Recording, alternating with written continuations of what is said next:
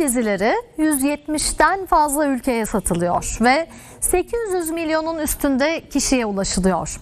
Dizi ihracatında önemli bir role sahip olan TRT de Türk tarihini ve kültürünü dünyaya tanıtıyor. Kültür ve Turizm Bakanlığı önümüzdeki yıl itibarıyla İstanbul'u dizi film sektörünün merkezi haline getirmeyi hedefliyor. Şimdi detayları haberimizde izleyeceğiz. Hızla ezilecek bağlar için Bismillah. Türk dizileri dünyaya satılıyor, izlenme rekorları kırıyor. Bu sayede Türk kültürü çok geniş bir coğrafyaya yayılıyor. Çok sayıda dizi ihraç ediyoruz. Özellikle son 10 yılda zirveye çıktı. Şu anda 170'e yakın ülkeye ihraç ediyoruz. 800 milyonun üstünde de insana ulaşıyoruz. Sen çok mu eksiksin baba? Dizi ihracatında önemli bir role sahip olan TRT'de Türk tarihini ve kültürünü dünyaya tanıtıyor. Ertuğrul Bey.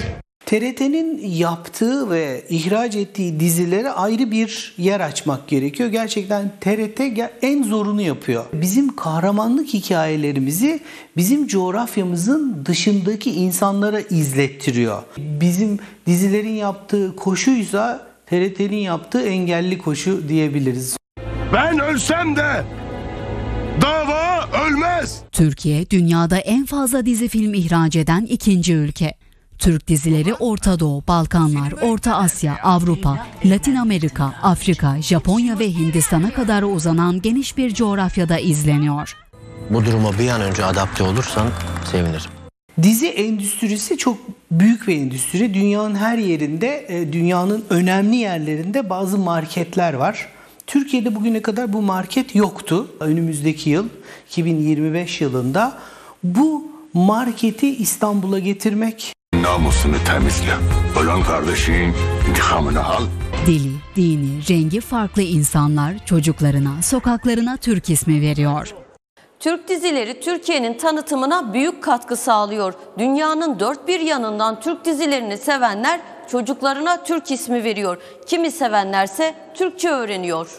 dizileri ihraç ettiğimiz ülkelerde kültürel bir etki yaratıyoruz. Bizim dilimizi öğrenmeye başladılar. Çocuklara bizim e, karakterlerimizin isimlerini koymaya başlar. Bazı ülkelerde caddelere isim verildiği söyleniyor. Biz eskiden etkilenen bir ülkeydik. Artık etkileyen bir ülkeyiz. Sultan Murat değil, Sultan Mehmet'in paşa. Dizilerin yayınlandığı ülkelerden Türkiye'ye gelen turist sayısında da artış var. İstanbul'a gelen turistlerin büyük bir bölümünde dizilerin etkisi olduğunu düşünüyoruz. Kapadokya çok önemli bir yer kaplıyor. Mardin çok önemli. İzmir, Ege'de çok önemli. Oraları görmek istiyorlar. Çünkü çok etkiliyorlar bizim dizilerimizden. Eskişehir'e çok geliyorlar. Bilecik bizim o kahramanlık hikayelerimizin geçtiği bölgeleri görmek istiyorlar. Gemilerle aşılacak dağlar için Bismillah.